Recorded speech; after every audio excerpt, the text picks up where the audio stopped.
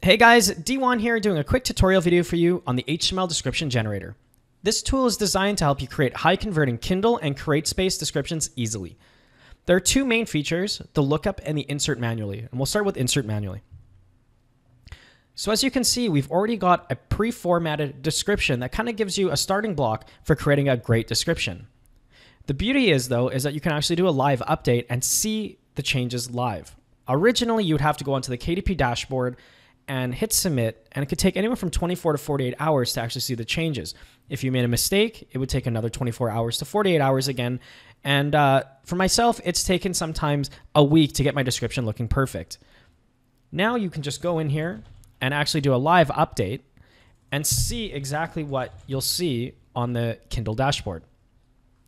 If you want to rearrange, all you have to do is you can either hit delete or you can then drag and drop an existing field here. Awesome. Once you're completed with this, and if you think this looks all right, just scroll down to the bottom, hit generate HTML code, and you can see we now have the Amazon and CreateSpace HTML code. All you have to do is copy and paste it within your KDP dashboard, and you'll have a great looking description.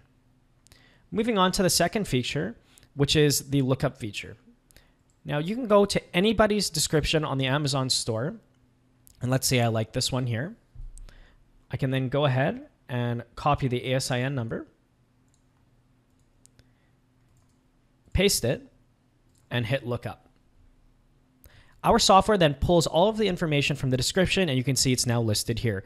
This is great for people that are struggling to create good looking descriptions. You can then model an already well known description that you know is selling well and use this as a building block. Again, all you would have to do is edit the information from within here,